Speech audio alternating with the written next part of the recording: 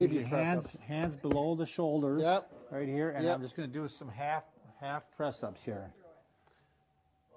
Now, if, you, if the person responds, it's kind of hard at first, but after a few press ups, it gets a little easier. They can go higher. You're really trying to keep this part relaxed Right. and sagging in. Right. This stays this is down. what you don't want to see is this, Brad.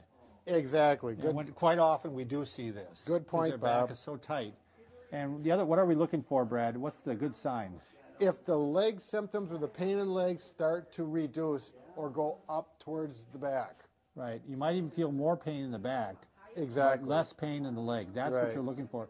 And you're trying to go higher and higher. Just this week, I did this exact same exercise with a patient. She had numbness in her shin. We did five of these. She said, Oh, my shin doesn't hurt anymore. It feels normal. So I said, Let's do some more. Right. And so once you get up to this point, this is the, the basic exercise.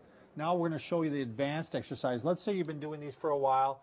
You're kind of stuck. It's it, you know it, it has helped, but it's it, it's kind of stuck. You're still having some pain maybe in the buttock yet. Right. The, the pain is, the, the, the symptoms in the leg are symptom free. The numbness, the pain is gone, but it's still here and it's here. And we want to get it all the way to the center right there. So now we're going to take either a belt or a rolled sheet Oh, or there, there's one more thing, Bob. Oh, you want to do the sagging I want one? you to lock your hands Okay. out.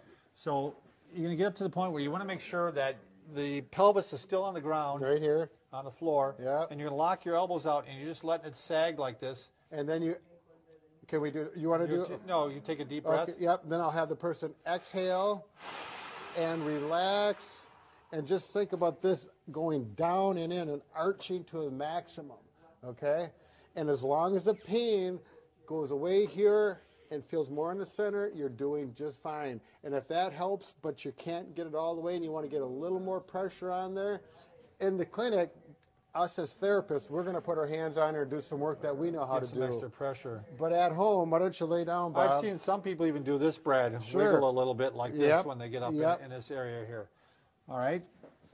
You take, you can take a long towel. I use the sheet in this case, and I rolled it up in a nice uh, round cylindrical thing like this. I'm not going to use it for a toga. You're going to put it around the belt line.